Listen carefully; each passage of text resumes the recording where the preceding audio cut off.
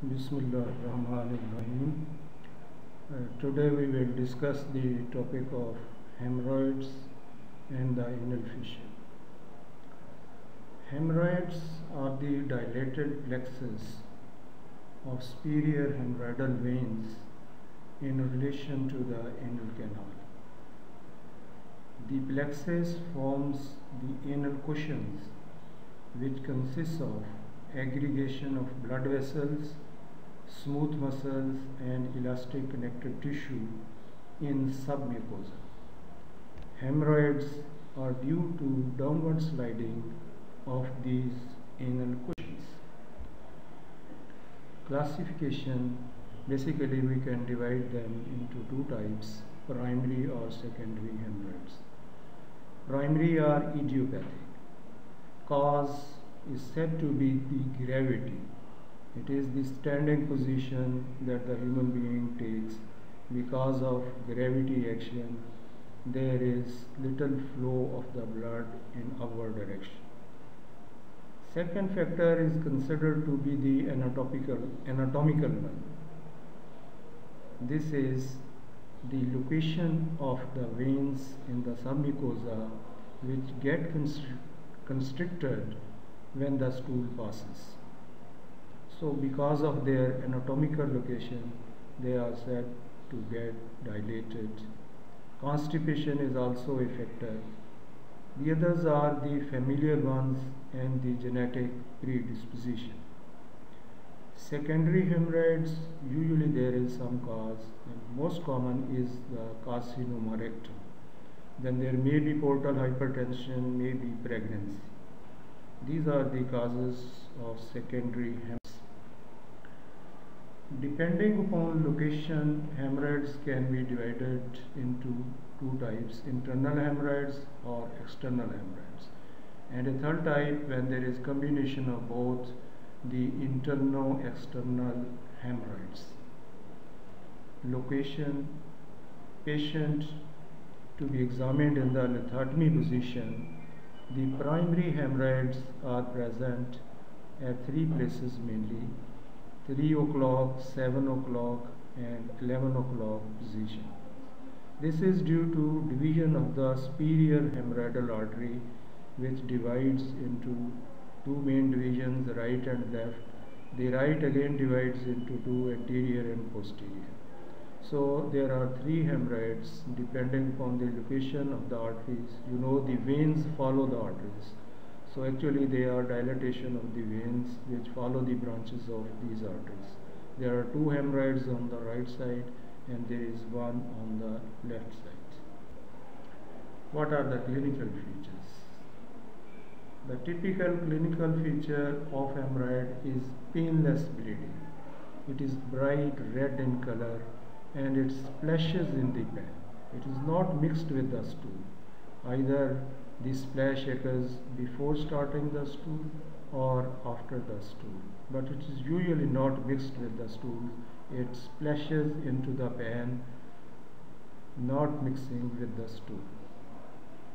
Minor trauma or straining on defecation can precipitate bleeding permanently prolapsed piles which are the grade 4 ones they can cause pain and some discomfort otherwise they are as a rule painless patients usually are constipated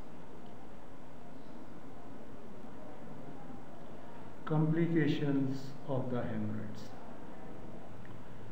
There are many complications.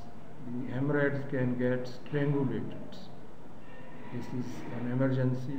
If they prolapse and the sphincter goes into spasms they will be too much congested and there will, they will be painful so the patient appears usually in emergency with strangulated prolapsed hemorrhoids other complications there may be thrombosis may be ulceration. The ulcerated hemorrhoids they get infected later on. They may lead to gangrene formation but if the thrombosis undergoes slow fibrosis then there will be the fibrosis which will be the end result so fibrosed thrombosed hemorrhoids can also be seen severe hemorrhage can occur sometimes but usually they present with chronic anemia. And other complication is portal pyemia. The infected hemorrhoids as the drains, the veins drain into the portal vein ultimately, so there will be portal pyemia. What are the investigations? Digital rectal examination should be done in all the cases. Hemorrhoids usually are not felt by digital rectal examination unless they are thrombosed or fibrosed. But we have to do DRE, digital rectal examination, to exclude the other pathology. And the most common one is carcinoma rectum, which can lead to secondary hemorrhoids. Proctoscopy should be done in all the cases. And proctoscopy, when the obturator of the proctoscope is removed, they fall as cherry red masses into the lumen of the proctoscope. Other investigations are sigmoidoscopy, flexible sigmoidoscopy and colonoscopy should be done to rule out proximal cancer. Other investigations, the routine baseline investigations, especially complete blood count should be done because most of the patients, they are anemic. What is the treatment? First is conservative treatment. For grade 1 and 2, we try to manage the patient conservatively. Dietary advice is most important. Advise fiber rich diet to the patient. Normalizing the bowel habits. They should not try to postpone defecation unnecessarily due to social circumstances. This will lead to constipation and once constipation occurs, it precipitates hemorrhoids or bleeding in the people who are predisposed to this disease. Stool softeners and the bulking agents they are used. Encourage the patient to take enough of the fluid. So increased fluid intake is encouraged in order to avoid constipation. Ask the patient to reduce weight. This will also help. Stop smoking and use some proprietary creams as local applications to relieve the local symptoms. Then sclerotherapy, it is done for grade 1 and 2. Conventionally, we have been using 5% phenol in almond oil and it is injected into the submucosa above the dentate line in the perivascular area it causes aseptic thrombosis followed by fibrosis and obliteration of the vascular channels. Second is the bending. This is again done for grade 2 and sometimes for grade 3 hemorrhoids. We use a bender machine which is known as Barron's bender. An elastic band is applied at the base of the pedicle and it causes ischemic necrosis and sloughing in about 7 to 10 days. Disadvantage of this condition is sometimes it can cause bleeding and it can cause sepsis of the hemorrhoids as well. What are the precautions for bending? It should be applied 1 to 2 centimeter above the dentate line to avoid pain it should not be applied in patients taking anticoagulants. It should not be applied for immunocompromised patients. If at all, it has to be used for immunocompromised patients. A good antibiotic cover should be given because they are more prone to sepsis. If in any patient some symptoms occur such as severe pain, fever or urinary retention, patient should be admitted and should be examined under anesthesia and the band sometimes has to be removed because in this condition probably some complication has developed most likely secondary infection or sepsis. Bismillah ar-Rahman ar-Rahim. Uh, today we will discuss the topic of hemorrhoids and the anal fissure. Hemorrhoids are the dilated plexus of superior hemorrhoidal veins in relation to the anal canal. The plexus forms the anal cushions which consists of aggregation of blood vessels, smooth muscles and elastic connective tissue in submucosa. Hemorrhoids are due to downward sliding. Hemorrhoidectomy. What are the indications? Hemorrhoidectomy should be done for all grade 3 or 4 hemorrhoids and for grade 2 hemorrhoids which are not responding to conventional treatment. Fibrosed hemorrhoids, then intero-external hemorrhoids and hemorrhoidal bleeding sufficient to cause anemia. These are some of the indications for hemorrhoidectomy. Types of hemorrhoidectomy. One is the open method which is known as Milligan-Morgan ligature and excision. Second is the closed method which is called Hill-Ferguson method. And third one is the stapler hemorrhoidopexy. This is most recently introduced. It is a non-excisional procedure most of the people they are still using the open method, the old and the open method of Milligan-Morgan ligation and excision of the hemorrhoids. The procedure is done under spinal or general anesthesia, patient in the lithotomy position, DRE and proctoscopy done, then the hemorrhoids directly visualized, they are transfixed or ligated at the base and then excised and the wound is kept open. We do not stitch the mucosa. Precaution in this method is that we should always keep some bridge of the skin and the mucosa. Otherwise, anal stenosis can occur. In closed method, the same procedure is done, but the wound is not kept open. It is stitched. But it can lead sometimes to fistula formation or some other complications. Stapler hemorrhoidopexy is most recently, it has some of the advantages but it is a cost effective, not cost effective treatment because the, the gun used is quite costly and most of the patients cannot uh, afford it. Moreover, it requires some technical skill as well. Postoperative management, we give the patients analgesics, antibiotics and sitz bath and laxatives and bulk purgatives are given. What are the investigations?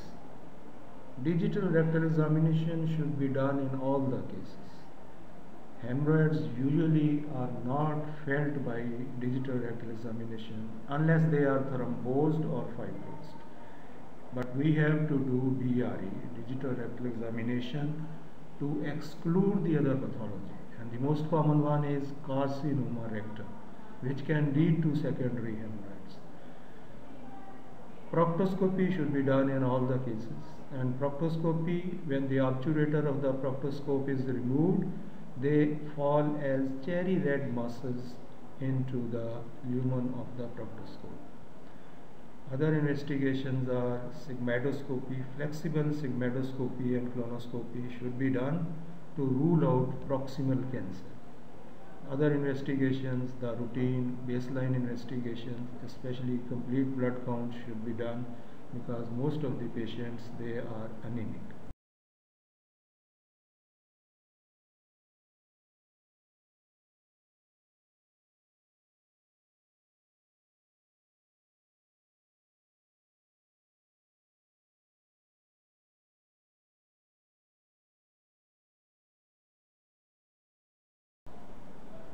What are advantages of stapler hemorrhoidopexy? There is lesser operative time, there is less bleeding as compared to the open method, there is less post-operative pain and there is early return to normal activities. The hospitalization of the patient is also reduced. But the disadvantage is that it is a costly treatment.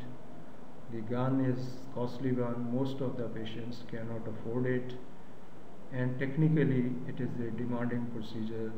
The operator should be well trained in this type of procedure. And post-op, some mucosal discharge and tenesmus is reported in some of the patients. Now, anal fissure. Anal fissure is also called fissure in ano.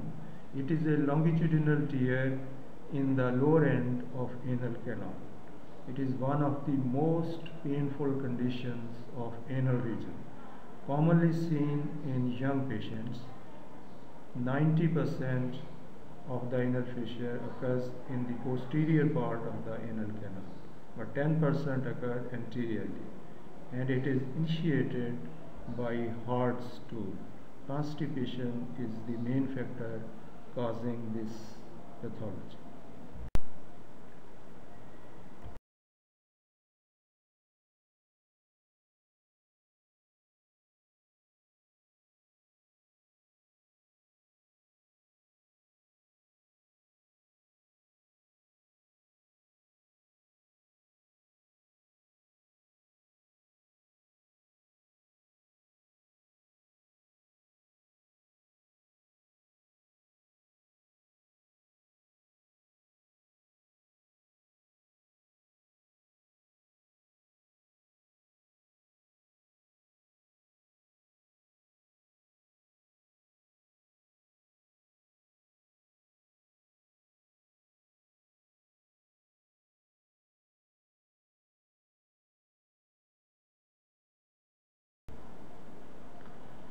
Then sclerotherapy, it is done for grade 1 and 2.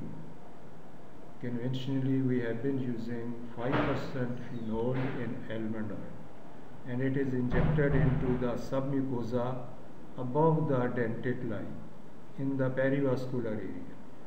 It causes aseptic thrombosis followed by fibrosis and obliteration of the vascular channels. Second is the bending. This is again done for grade 2 and sometimes for grade 3 hemorrhoids.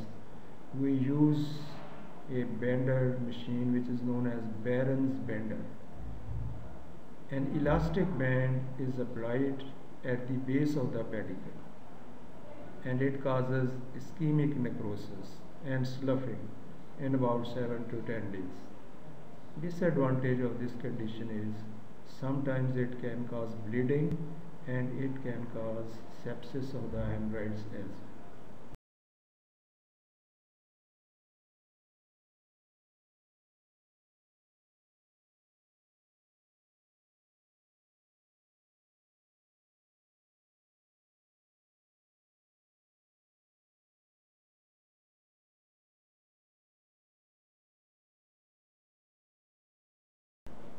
Treatment initially conservative avoid constipation, high fiber diet, laxatives and bulk purgatives. Surface anesthetic creams such as lignocaine or xylocaine gel is applied to relieve local pain. Glycerol trinitrate GTN 0.2% topical application is used. This causes the relaxation of the smooth muscle.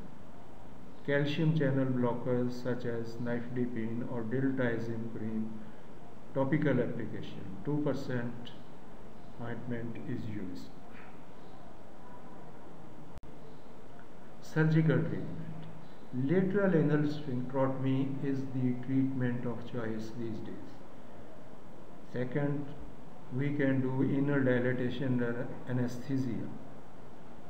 This is called MDA maximum anal dilatation under anesthesia also called as anal stretch operation or blunt sphincterotomy. It is also called as the Lord's procedure. So what is we examine the patient under anesthesia in lithotomy position and then we dilate the anal sphincter 4 to 6 finger dilatation for 4 to 5 minutes. This stretches and breaks the fibers of the internal sphincter. So the spasm is relieved. Spasm is the cause of pain and this relieves the pain of the patient and this fissure heals gradually. But all patients will not respond to this type of treatment and some complications can occur such as little incontinence in some of the patients. So the recurrence and incontinence, these the two factors, these are the two factors. So that's why most of the people have stopped using this procedure and lateral anal sphincterotomy is considered to be the standard procedure for most of the patients of anal fissure. Fissurectomy and local advancement flap. This is used for chronic, persistent, non-healing fissures. The fissure is excised and a flap, locally advanced flap is applied there only few patients, in few patients we have to use this procedure.